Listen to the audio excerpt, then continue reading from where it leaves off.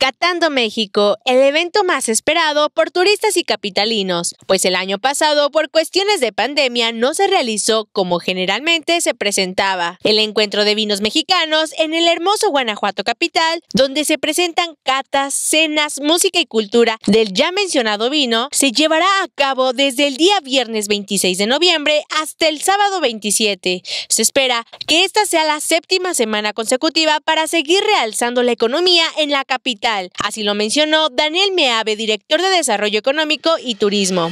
pero comentaba que ya vamos, este va a ser el séptimo fin de semana seguido que hay muy buenos porcentajes. Eh, la semana pasada fue de 37 millones de pesos, confiamos en que esta semana quizás podamos llegar a, los, mismos,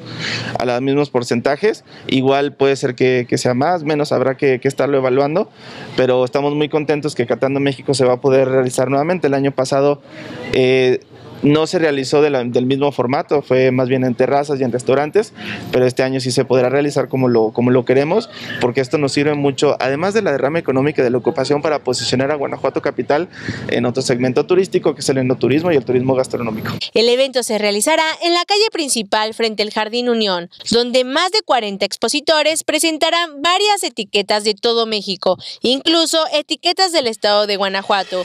Va a ser la misma dinámica, ahí vienen etiquetas pues, de todo México, desde del Valle de Baja California, viene de Coahuila, viene de Aguascalientes, de Querétaro y obviamente muchas etiquetas de aquí del estado de Guanajuato y de Guanajuato capital, como bien saben tenemos un viñedo también aquí, entonces eh, viene muy bien, muy bien nutrido.